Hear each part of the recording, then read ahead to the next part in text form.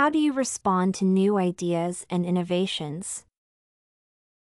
I support the implementation of new ideas and innovations in teaching high school mathematics. Although the conventional approach in teaching high school mathematics has been impressive, it has encouraged laxity on the part of the learner, hence losing its utility value in modern society. The new approach of implementing new ideas and innovations is learner centered, and thus, learners get more benefit from classwork. The new approach also embraces a wide range of modern technology in teaching high school mathematics. The inclusion of integrated ICT in teaching mathematics, for example, has proved to be an indispensable tool in complementing conventional teaching and learning resources. How would you describe your communication skills?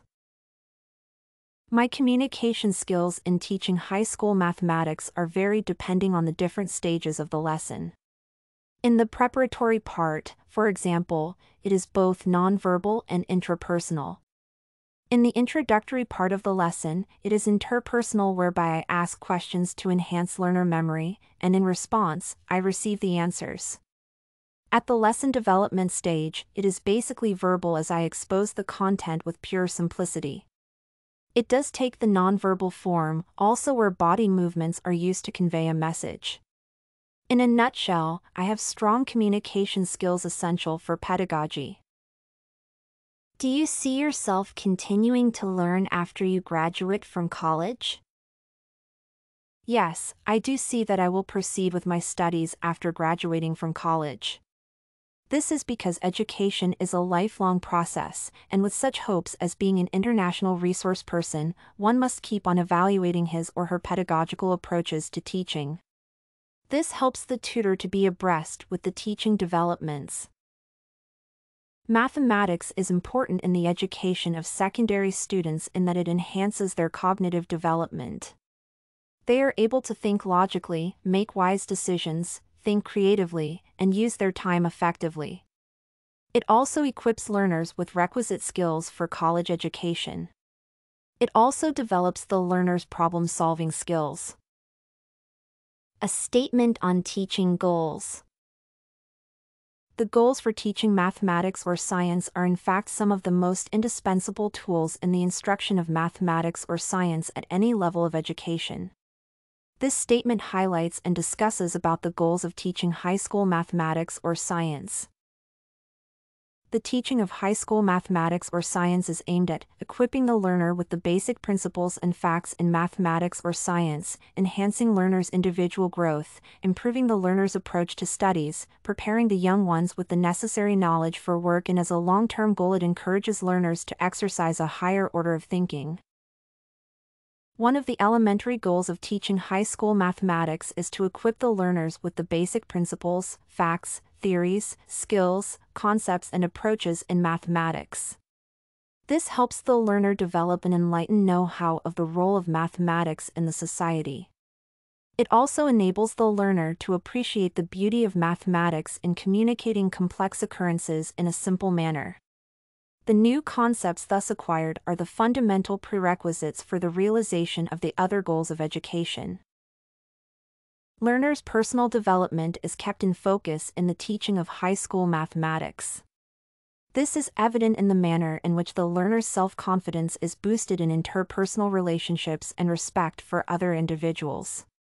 With enhanced self esteem comes a firm self confidence necessary for a liberated expression of one's ideas and opinions.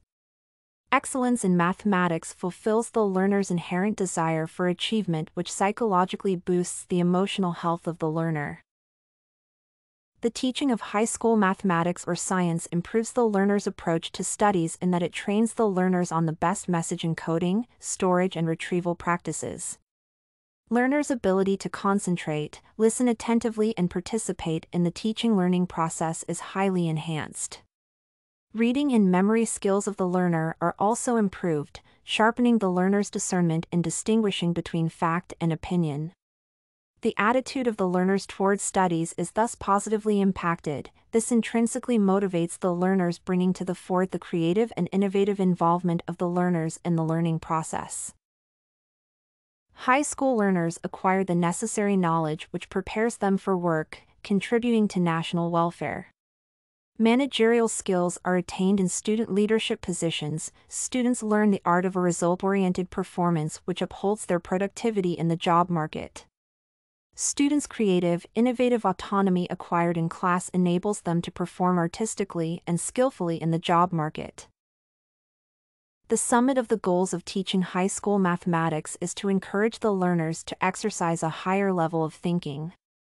This is geared towards developing the learner's capacity to relate the principles acquired in school to new situations and varied problems. It is meant to tap the investigative and problem solving skills of the learner.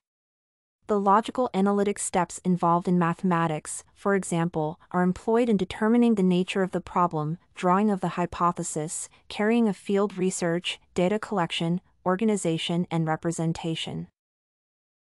The analysis of the data exposes the latent information about a given problem, upon which appropriate inferences are drawn.